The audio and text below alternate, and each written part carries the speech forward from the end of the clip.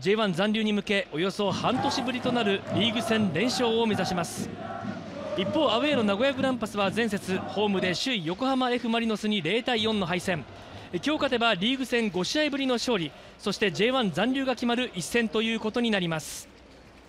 2022明治安田生命 J1 リーグ第32節京都産が FC 対名古屋グランパスの一戦です。京都のスタートと予想フォーメーションです。今日は3バック3421と予想しました。佐藤さんどんなところがポイントになってくるでしょうか？はいまずは名古屋も同じフォーメーションになると思いますのでね。そのところの1対1のマッチアップのところでどれだけ相手を上回れるかというところでしょうね。一方アウェーの名古屋のスタートと予想フォーメーションです。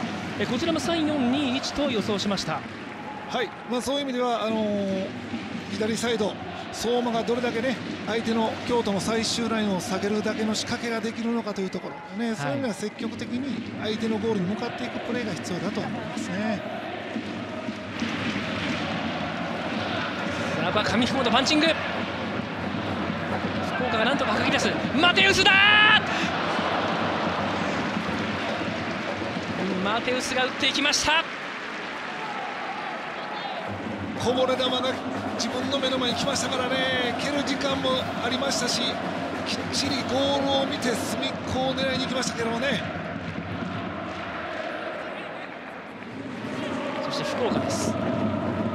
白井中増田天馬落として。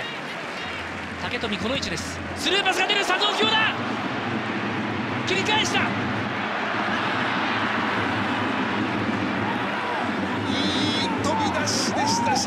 の精度も高かったですしね。こ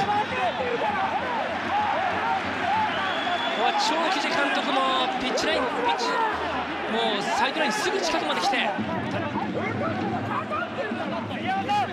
大きな声を上げています。先ほどのこのプレーです。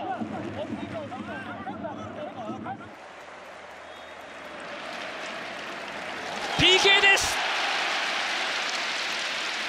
京都サンガの応援席からは大声援。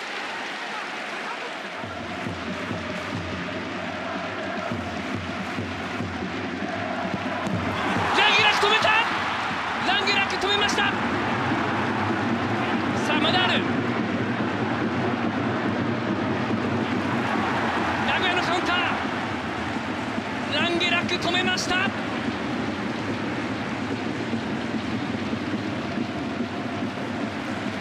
オーストラリア代表ゴールキーパーランゲラック。よく止めましたね。サポーター席に向かってガッツポーズ。ここはレオシルバが体を寄せる。武田。本田が打っていったポストだ思い切って打っていきましたがポスト直撃。右サイドの密集からここを抜け出してよく本田冷静に狙いすましてまた丁寧なシュートをしましたからね。非常に可能性を感じるプレーだったと思います。ランゲラックが伸ばした手からこう逃げていくような。さあ名古屋のコーナーキック。さあ丸山がゴール前上がってきていますシュートだ混戦の中名古屋押し込んでいきました。前半終了間際名古屋コーナーキックから先制ゴールを奪っています。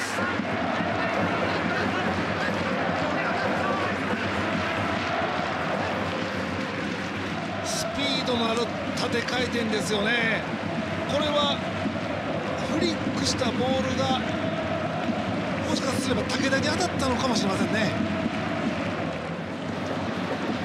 京都がボールを奪う本田武田ファーサイド福岡が呼んでいる。川崎颯太。本田から川崎前が空いたシュートだ。ランゲランク止めました。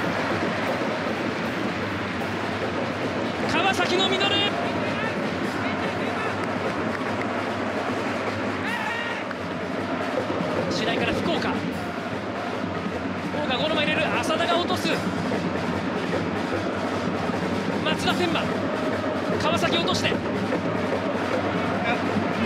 シュートを打たせてもらえないですね名古屋のディフェンスもよく集中しています浅田がヘッドで折り返す。ヘッドだ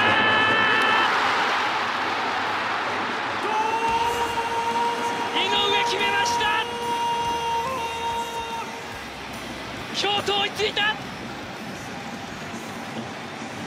最後は井上力人移籍後初ゴール。このクロスのところ浅田がね勝ち切ったんですよ。先にポインポジションに入って飛んだことによって自分が優位に立った。その折り返しの質も良かったですしこれに対して井上が先に飛んでしっかりとゴールに結びつけたところこの浅田の強さを褒めるべきですし井上のこの戦った姿勢が良かったと思いますね。素晴らしいゴールです。マテウス・カストロです非常に精度の高いそしてパワーのある左足を持っています。ここも直接が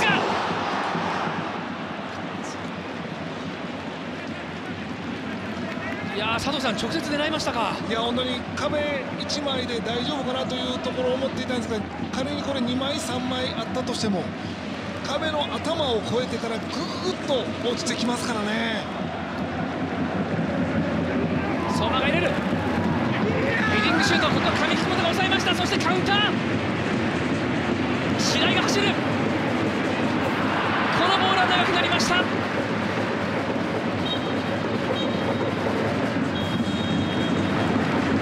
ここで試合終了の長い笛です。